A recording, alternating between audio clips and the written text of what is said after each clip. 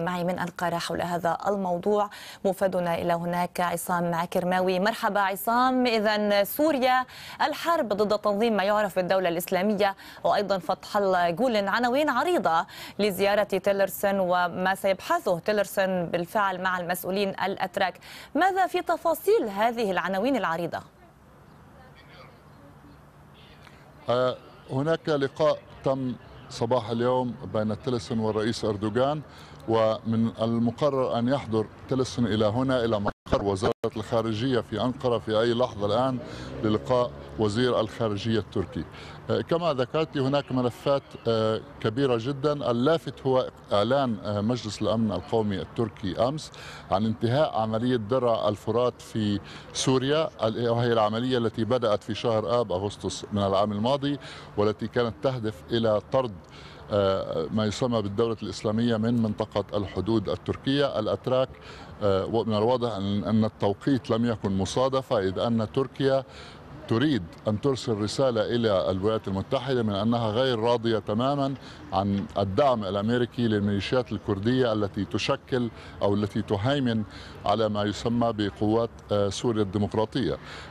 تركيا تنظر بعين القلق إلى الاعتماد المتزايد على الميليشيات الكردية في الحرب ضد ما يسمى بتنظيم الدولة الإسلامية وهذه الرسالة سيتم نقلها اليوم إلى وزير الخارجية الأمريكي الموجود هنا في أنقرة.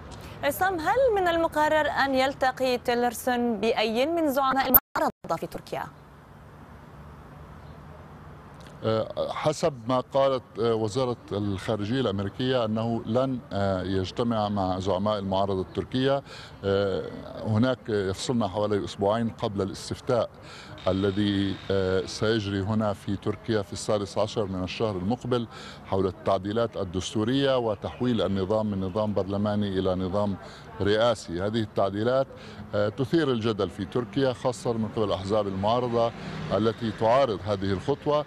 الولايات المتحدة تريد أن تبقى بعيدة عن التدخل في الشؤون الداخلية التركية خاصة وأن هناك توترا في العلاقات مع إدارة أوباما السابقة عندما ألمحت أنقرة إلى تورط هذه الإدارة أو رضاها عن محاولة الانقلاب الفاشلة التي وقعت العام الماضي. الأتراك يعولون على أن تكون هناك علاقات ربما أفضل مع الإدارة الحالية بعد التوتر التي الذي شهدته العلاقات التركية الأمريكية خلال آه، فترة أوباما خاصة فيما يتعلق بالموضوع السوري.